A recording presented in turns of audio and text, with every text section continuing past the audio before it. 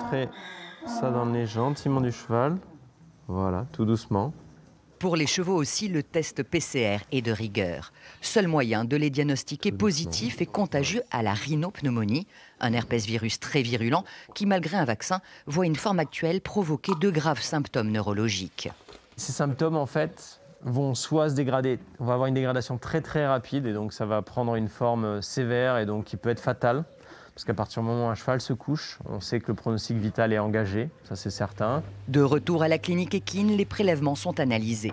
Le résultat est rapide, on l'a en 20 minutes. Pour enrayer l'épidémie, deux tests PCR négatifs à une semaine d'intervalle sont préconisés avant de transporter un équidé.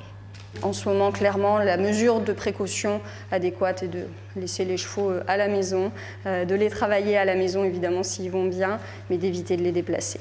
Cette épidémie s'est déclarée en Espagne à Valence lors d'un concours international de saut d'obstacles réunissant 700 chevaux, dont ceux du Girondin Loïc Durin.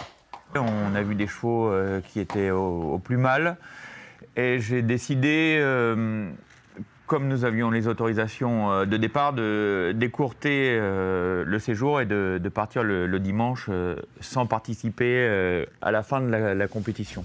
Un retour anticipé en Aquitaine, mais pas à la maison pour ces 11 chevaux contaminés.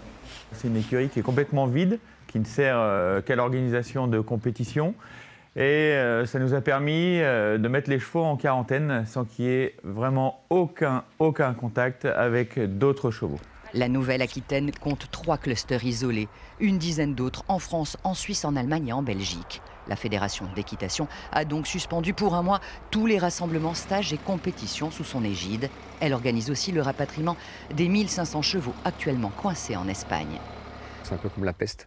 Tout le, monde, a peur. Donc on a trouvé des sites. On est en train de finaliser ça héberger des chevaux, le temps de se reposer, que le, camion, que le chauffeur puisse se reposer et repartir, avec toujours pareil un vétérinaire sur place et des consignes euh, de désinfection des box au fur et à mesure.